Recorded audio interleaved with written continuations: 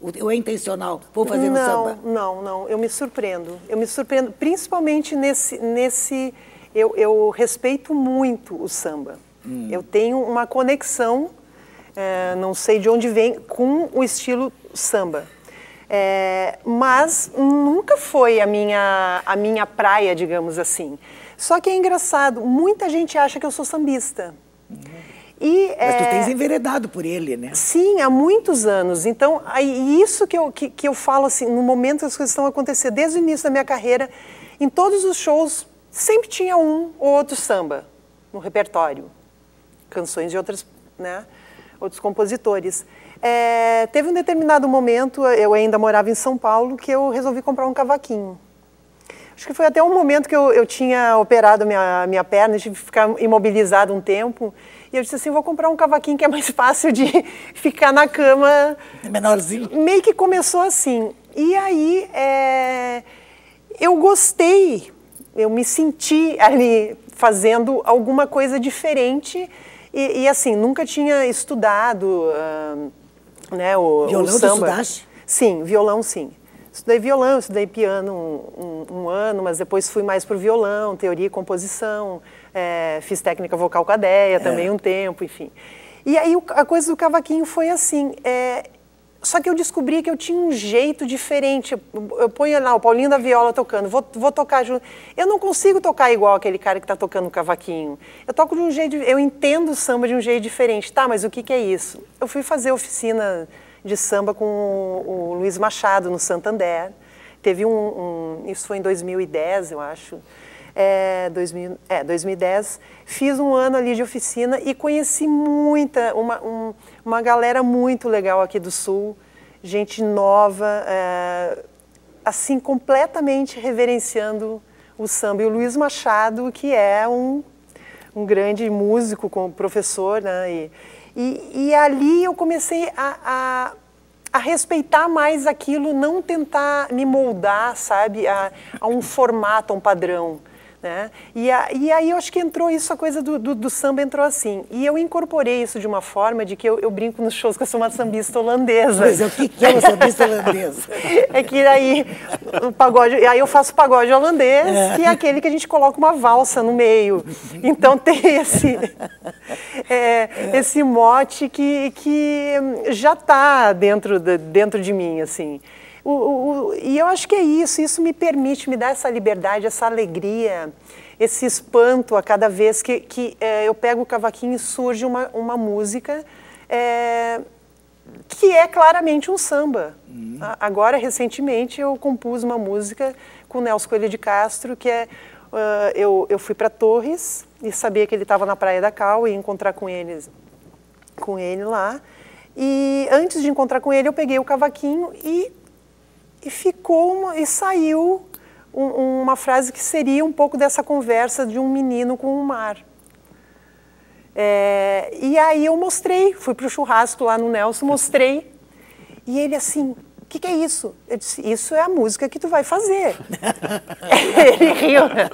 No dia seguinte eu encontrei com ele na praia, e aí antes de encontrar com ele na praia eu estava botando biquíni e aí ouvindo aquilo, e aí me veio mais uma frase assim, é, pois quem navega não se entrega, o amor não foi feito para ancorar. São águas claras, noites raras, são só pegadas para o mar desmanchar. Que eu pensei assim, né, vou... Uhum. E aí ele, e ele disse assim, a música está pronta. Eu disse, não está pronta, tu vai fazer a música. E aí foi assim, e aí dois, três dias depois o Nelson me manda a letra, enfim, dessa parceria. Então as coisas acontecem assim. Eu não pensei, agora eu vou fazer um samba. Parece Mas... que quando tu pegas o cavaquinho, sai samba, ou seja, para economizar espaço, acho é peso, é etc. Naquilo. Tu fazes samba. É. É, mas acho que tem. Acho que, como diz a música, todo mundo tem um pouquinho do micróbio do samba, é. como diz aquilo, né? Como é que é para ti, hein? Pois é, eu fiquei meio assustado exatamente isso que a Mônica está falando, mas uma coisa que a gente tem como o meu disco, a crítica que o Jarez fez, que eu amei também, claro, falou super bem do disco, mas ele botou, o título me assustou um pouco e dizia Márcio Celi vai de samba. E eu, em vários momentos, é como eu não me reconheço sambista, né? Eu não, eu não, não, sou um sambista, mas sei que várias coisas tem samba bossa, tem samba, né? Tem o samba jazz, tem, tem, tem isso está ali presente. Mas de que forma? Isso não foi proposital também, não foi estudado. Vamos fazer um samba. Não, ele, ele vem, essa primeira safra de, de, composições, assim, veio realmente mais bossa, mais samba. Eu compus uma bossa que está no meu disco, compus para o disco da Flora Almeida. A Flora me ligou e disse, eu quero uma bossa para o meu disco. É. Imediatamente me veio também uma bossa inteira para o CD, que eu regravei, chama Uma Bossa, inclusive. E, então isso, mas eu acho que isso é a música brasileira. Eu acho que isso é música brasileira. A Rosa fala, brinca muito que a gente nem chama mais de tão música popular brasileira assim, porque já não é mais tão popular assim a música brasileira. A música brasileira que a gente conhece por música brasileira. Né? Que é realmente essa que tem essa mistura do samba, da bossa, do, do, do jazz, quer dizer, do, do, de toda essa coisa. Né? Evidente que o jeito de cantar também é diferente. Se eu tenho um, um o meu samba é um samba holandês, né? É outro samba. Na composição, mas ao cantar, no, no, cantar também. Como é que tu cuidas da tua voz? Ah, eu cuido não, não fazendo excessos, assim, mas não... Atualmente eu não faço mais técnica vocal, não, mas eu acho que isso faz falta. Uh, quando, quando pega um pique de shows, assim, é, de, um, um, atrás do outro, a gente percebe o quanto a musculatura fica fadigada, né? É, é, então, eu acho que isso é um pouco de desleixo meu, assim, desleixo meu. É, mas que eu só percebo, assim, preciso, né? É como fazer um exercício, né? Tá, a gente não faz exercício, mas aí vai caminhar ali, ai, cansei, ai, tô fora de forma, né? E, é, com a, a, questão vocal, a gente só percebe quando fica rouca ou quando, né? Então, eu, mas eu não tenho muito isso, assim, uma maçãzinha, não procuro não tomar coisas muito geladas, esse contraste antes de cantar. É, não comer chocolate, né? Porque chocolate. É que a gordura gruda né, na, nas cordas, assim, não é legal. na Páscoa jamais. Não, não. Faz show na Páscoa, come depois. Tem as chamadas neuroses vocais também, é. né? Ah, tu é, tem alguma? Isso, né? Eu tenho várias. É. Começa aquelas coisas pós uh, antes do show, fica então, assim, nossa. E aí tu fica, meu Deus. Então a temperatura, que é uma coisa que eu sofro bastante, porque eu tenho sinusite, né? Então começa aquela temperatura, começa a entrar o inverno, e o pior não é entrar o inverno, o pior é fazer 30 graus e ir para 8 no mesmo dia. Ah. Né? E aí não tem, não tem como aguentar isso tudo. A minha, a minha médica, a doutora Bernadette, fica doida, porque já, ela já me atende por telefone, porque ela já sabe que eu não tenho nada. Ar-condicionado ar -condicionado é, atrapalha? Ar-condicionado. Resseca? Tudo eu resseca, acho que atrapalha. Resseca, isso sim. Em estúdio, isso eu sinto bastante, assim. Tá, e durante o show no teatro, porque o teatro sem ar-condicionado as pessoas ah, não, morrem, é. nem assistem. Não, mas aí durante uma hora ali pro é. show, sim. Agora, por exemplo, em estúdio, fica muitas horas, quatro, cinco horas dentro daquele ambiente, né? É, o, o ar estúdio, viciado, assim. Eu, acho que é o pior. Eu, eu sempre vou de casaco, manto, eu sinto frio, eu protejo, assim. Hum. Mas... Uh, agora, nosso, tempo, nosso clima aqui não dá. É, tem é. dias que não dá para dormir sem ar-condicionado. É, é, complicado, a gente então tem que se acostumar, põe edredom e tudo, mas. mas é, gengibre também, né? Pomba. É. Mas com gengibre, mel, não fuma, não bebe. E era isso. Eu nunca que... bebeste, nunca fumaste? Fumava, fumei. É. Fumei, fiz isso por bastante tempo até, mas faz quatro anos que eu parei de fumar. Uhum.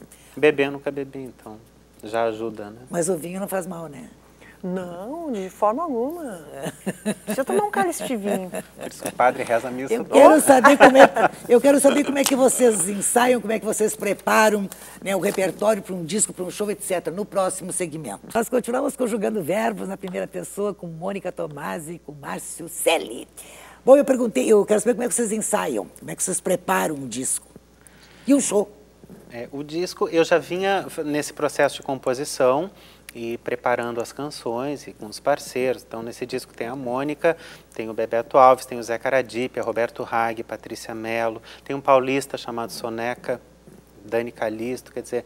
Então, eu já tinha essas canções prontas. E chamei o Jefferson Marques, que é, um, que é o produtor musical, que é o violonista que, que, eu, que eu costumo tocar Maravilhoso. aqui. Maravilhoso. Um cara que sempre que toca comigo desde 2001 e, e ele fez todo o Canta Adriana também, meu segundo disco. Então ele fez os arranjos.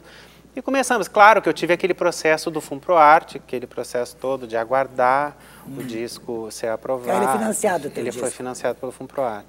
E depois todo o processo da, da fabricação dele, que a prestação de contas é bem, é bem tudo muito Rígida, certinho, é bem rígido e eu fiz sozinho também, né? Uhum. Então, mas aprendi muita coisa. Mas eu quero saber o ensaio, de repente assim, ensaio, tu ensaia então, em casa, tu ensaia com os músicos? Quando é com violão e percussão, consigo ensaiar em casa, assim. Eu até prefiro, porque como a Mônica diz, o estúdio, além dessa coisa do ar-condicionado, é mais frio e tu gasta, né? Uhum. Então eu prefiro quando dá para ensaiar em casa, mas quando tem bateria, é impossível ensaiar em casa. É. Aí não tem como. Mas eu gosto de ensaiar em casa porque eu acho que deixa tudo mais, não tem essa coisa da hora também, né? E, e, se torna um prazer, para um pouco, faz um lanche, toma alguma coisa, conversa, fala outro assunto. O estúdio já fica aquela coisa mais... Esses parceiros todos tu levaste para tua casa ou tu foste para o estúdio com eles? Fui para o estúdio com eles, é. A não ser o Jefferson, claro, que é o que... Quer dizer que tu tivesse que ir para o estúdio com ele. Como é que tu ensaias? Então, o ensaio assim... Esse CD, o Intermitente, ele foi assim, ele é, ele é um CD que saiu pelo financiamento coletivo, crowdfunding. Hum. Né? É, é, aí foram, foram as pessoas, o, o, o, público que gosta da minha música, que financiou esse disco. É, já foi um, né, um, uma coisa maluca assim, para administrar isso, né, essa ansiedade para sair. Mas aí o que, que aconteceu? Quando eu fui inscrever esse projeto, eu já tinha procurado o Marcelo Corsetti, porque é, eu me dei conta, o último, o, o, CD anterior, o Quando os Ersos Me Visitam, ele é de 2008. Hum. É, eu me dei conta que eu tinha um punhado de canções que estavam querendo conversar entre si, que elas tinham alguma coisa entre si para falar. E, e, tinha muito claro que eu queria fazer um disco mais direto, mais, mais pop, assim, de baixo, bateria, guitarra e, e violão e voz, assim, sabe? É, e aí procurei o Marcelo Corsetti, com quem eu já tinha trabalhado, que tem essa linguagem. E, e ele disse, vamos nessa. E o Marcelo tem um estúdio, a Tech Audio, um, um dos ótimos estúdios aqui de Porto Alegre. Então, o que, que a gente fez, assim? E eu tenho um, um estúdio em casa, um home studio, assim. Então, para gravar essas coisas de mais acústicas, é, tenho feito muitas produções lá, perfeitamente dá. É, só quando tem bateria, que microfonação, precisa ter uma sala, ambiência, então isso a gente fez na Tech Áudio. Então, eh, foi assim. E os ensaios, eh, as pré-produções todas foram feitas. Então, eu mostrei para o Marcelo como eu já tinha feito, gravado. Ele foi lá, uh, ajeitou as coisas comigo. E aí a gente foi para o estúdio já praticamente com as, as, as trilhas prontas, né? Para gravar valendo a bateria, valendo o contrabaixo. Né? Eu tive a participação do Luciano Leindecker, o o Fernando Peters no baixo aqui. E aí foi assim, e aí foi assim que, que as coisas foram. E ensaio também é em estúdio. É. Agora, um disco tem que ser trabalhado, quer dizer, tem que fazer shows e mais shows para vender o disco. Sim. Tu estás trabalhando o teu disco? Sim, então, o disco, ele saiu, uh, chegou, o disco físico, em agosto do ano passado. Eu fiz uma turnê pelo, pelo Sesc, né, de circulação pelo Sesc, é, que foi bem bacana. E em dezembro eu fiz um aqui em Porto Alegre no Teatro Renascença, oficialmente lançado o disco. Uh, agora, recentemente, nós fizemos aqui em Porto Alegre, um, enfim, a gente está agora atrás de. Mas é isso, para fazer um espetáculo hoje, hum. precisa de ter. Tem, tem que ter muito dinheiro. Né? Tem que ter dinheiro. Tem que ter dinheiro. Mas vem cá, de repente, o ingresso não paga o show? Ah, muito bem. O ingresso deveria. só às vezes deveria, mas só não paga. às vezes só não paga. Então. O cachê dos músicos que te acompanham é muito alto? Não, não é que o cachê é alto. É, é um, mas é, precisa ter esse cachê, porque nesse caso, por exemplo, o Márcio, eu, nós somos os artistas, não é uma banda, não é um coletivo, ah. né? Então, é, aí tu tem que administrar de outra forma. Tu é o patrão. Hum. Né? E aí uh, os músicos são os funcionários, e aí uh, os técnicos são os funcionários, e aí tem o divulgador, e aí tem milhares de coisas em volta. Então tudo isso tem que ser pensado antes, o produtor. Né? Então é essa forma uh, independente de, de, de, se fazer música, é, é assim. Eu não é ruim. Não é ruim. Poderia ser melhor. É, ser patrão é muito chato. Como é que tu vai trabalhar teu disco?